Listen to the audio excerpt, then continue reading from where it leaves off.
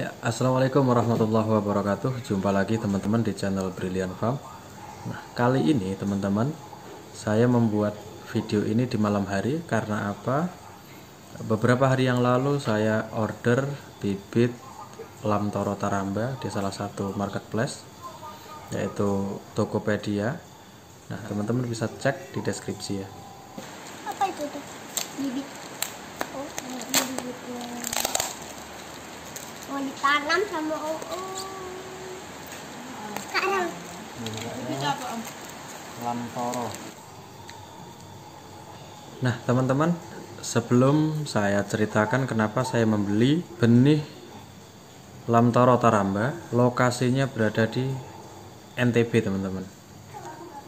Alamatnya di sini. Dari DRH L Jamaluddin, Sekokat Labangka, Sumbawa NTB, kode pos 84383. Nah, kenapa saya membeli benih Lam Toro Taramba ini teman-teman? Karena tahun 2018 saya mengikuti BIMTEK Kelembagaan dan Usaha Peternakan di sentra kawasan peternakan saat itu tahun 2018 yang lalu. Nah, pada saat itu salah satu mentor atau salah satu pembicaranya itu dari Dinas Peternakan Kabupaten Pesisir Selatan maupun Dinas Peternakan dari provinsi. Dan juga kalau tidak salah dibawa beberapa dosen ahli di bidang pakan ternak. Khususnya pada saat itu eh, ternak sapi ya teman-teman.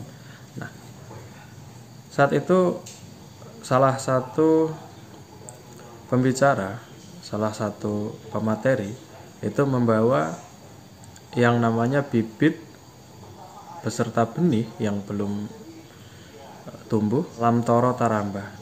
Kan tetapi pada saat itu teman-teman karena kita juga belum paham apa itu lamtoro taramba sehingga di saat beliau-beliau menjelaskan memberikan bibit ya karena kurang wow ya menurut eh, kami karena apa? Kita belum memahami walaupun beliau-beliau sudah menjelaskan kandungan-kandungan uh, atau nutrisi-nutrisi yang ada di lamtoro taramba yang dibutuhkan oleh ternak. Namun pada saat itu memang namanya orang belum paham jadi ya belum belum tertarik untuk menanam. Sehingga pada saat itu teman-teman peserta yang lain karena sudah ada lokasi yang ditentukan untuk breeding pada saat itu sehingga di uh, prioritaskan untuk mendapatkan benih atau bibit tersebut. Karena masih penasaran apa yang menjadi kelebihan dari lamtoro taramba sendiri saya sering searching. Nah dari berbagai artikel informasi-informasi yang saya dapatkan dari litbangpertanian.go.id bisa teman-teman nanti cek di deskripsi juga linknya itu dijelaskan uh, oleh beberapa peneliti yang ada di BPTP Balitbang NTT jadi BPTP Balitbang NTT ini di antaranya Dr. Insinyur Sophia Ratnawati MSI Insinyur Evert Y Hosang PhD dan Yanuar Hakadri SPT MSc sini dijelaskan bahwasanya lam toro taramba ini mempunyai nilai kandungan atau nilai nutrisi yang ternyata sangat bagus teman-teman jika teman-teman nanti e, membacanya bisa teman-teman simak di sini dalam BIMTEK ini,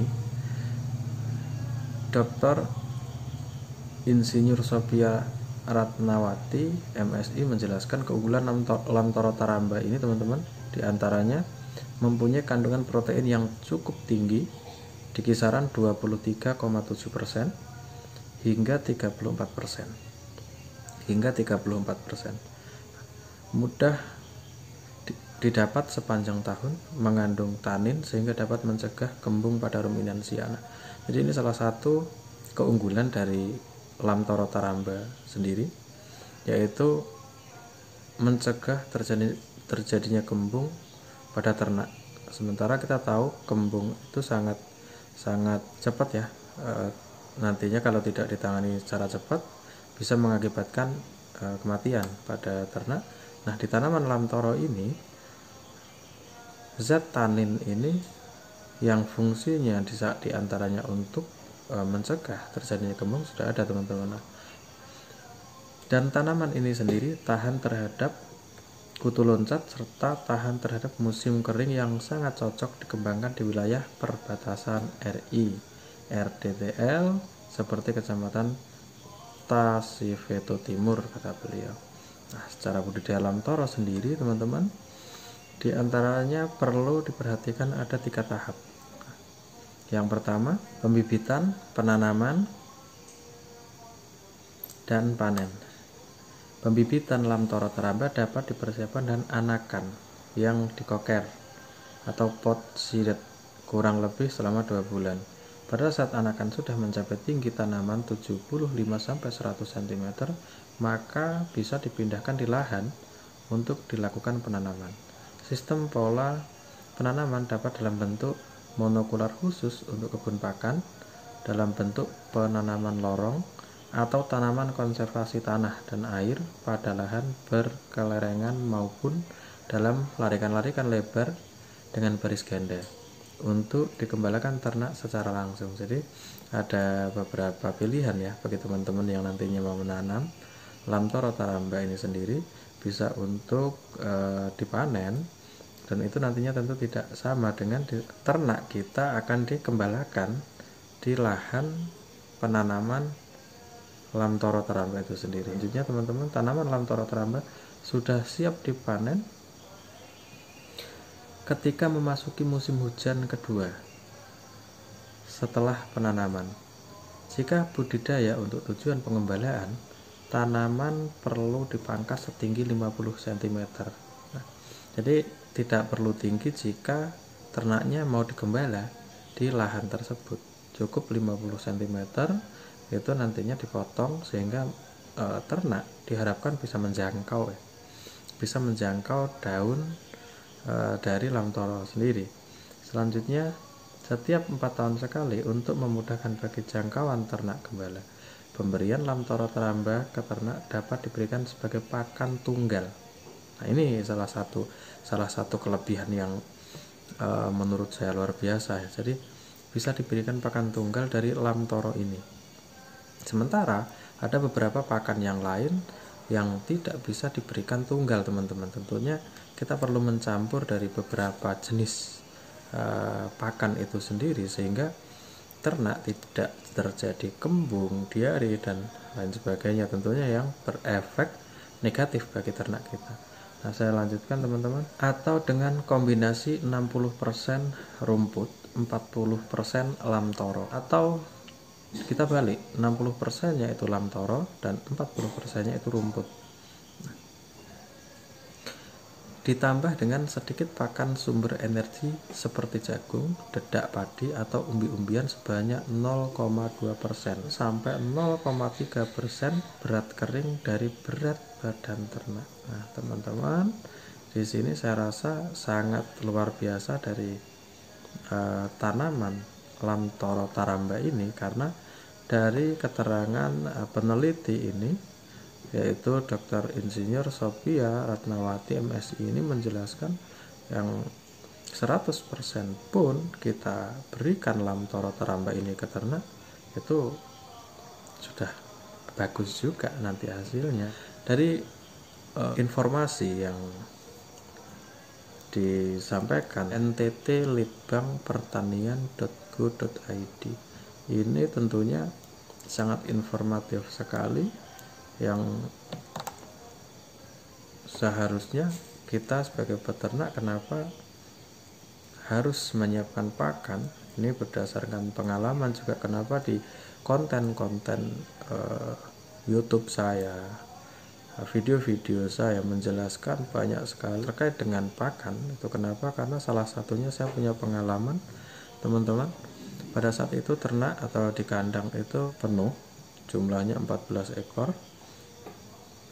Pada saat itu karena uh, ada kondisi yang di luar dugaan sehingga pakan hijauan saya itu menjadi berkurang sehingga pakan hijauan yang saya miliki itu mempengaruhi pertumbuhan dari ternak saya sendiri. Sehingga apa? E, saya menyadari bahwa pakan itu tidak bisa kita sepelekan. Pakan itu harus kita antisipasi jangan sampai telat habis kita tidak punya cadangan. Sehingga kita sebagai peternak tentunya bisa menyediakan pakan-pakan yang baik bagi ternak kita. Dengan cara kita menanam hijauan-hijauan yang bernutrisi baik bagi ternak kita. Nah, yang sudah saya tanam contohnya ada rumput pacong, rumput kolonjono, rumput setaria, indigo vera. Nah, di sini juga saya akan tanam uh, lamtoro taramba. Insya Allah di ke depan kami juga akan menanam kaliandra. Nah, seperti itu mungkin kita bisa menyediakan pakan yang baik untuk ternak kita. Sehingga apa yang terjadi? Kita sebagai peternak bisa mencukupi pakan bagi ternak kita dengan biaya yang murah bernutrisi tentunya tidak murahan dan dapat mencukupi sepanjang kita beternak. Nah itu mungkin teman-teman. Dan e, selanjutnya teman-teman saya ceritakan di sini juga jadi teman-teman yang memulai beternak jangan sampai kekurangan pakan teman-teman. Jadi banyak sekali eh, teori-teori yang bisa kita lihat di mana terkadang kalau kita salah memahami kita lebih mendahulukan ternaknya teman-teman. Padahal nantinya sebenarnya kita di saat beternak apa yang harus kita lakukan terlebih dahulu? Yang harus kita lakukan adalah ketersediaan pakan untuk ternak kita itu cukup. Itu sebenarnya di kuncinya. Ya. Jadi pengalaman-pengalaman itu teman-teman sehingga di channel Brilliant Farm ini banyak mengulas bagaimana kita menyediakan pakan bagi ternak hingga nantinya tidak kekurangan ternak-ternak kita itu teman-teman. Nah, jadi uh, setelah ini nanti uh, saya akan lanjutkan video ini dengan bagaimana cara menanam, bagaimana cara merawat, dan saya akan terus pantau perkembangan dari lamtoro taramba ini. Nantinya bagaimana perkembangannya teman-teman bisa saksikan terus di channel Brilliant Farm ini dan mudah-mudahan teman-teman juga menanam lamtoro taramba ini. Karena apa? Karena kita tahu kandungan yang sangat baik untuk ternak kita tentunya murah bisa kita dapatkan dengan mudah dan tidak murahan. Mungkin seperti itu teman-teman. Cukup kita menanam lamtoro taramba ini dan dicampur dengan rumput itu sudah cukup untuk ternak kita. Adapun teman-teman mau lebih mau lebih cepat di perkembangannya tentu bisa ditambahkan dengan bahan-bahan yang lain. Contoh di daerah teman-teman ada konsentrat ada e, polar dan lain sebagainya yang di situ juga bagus semuanya untuk ternak dan mencukupi. Tentunya itu tidak bisa dikesampingkan e, untuk perkembangan ternak kita Oke teman-teman saksikan e, video selanjutnya. Bagaimana saya menyemai atau menanam benih lam toro ini. Teman-teman saksikan uh, video selanjutnya. Saya nanti akan buatkan videonya bagaimana cara menanam lam toro taramba ini. Oke teman-teman. Uh, sebelumnya bagi teman-teman yang baru bergabung di channel Brian Farm jangan lupa di subscribe like dan komennya dan tekan tombol loncengnya teman-teman agar teman-teman bisa mendapatkan uh, update terbaru dari channel Brilliant Farm ini. Salam ngarit, salam Brilliant Farm.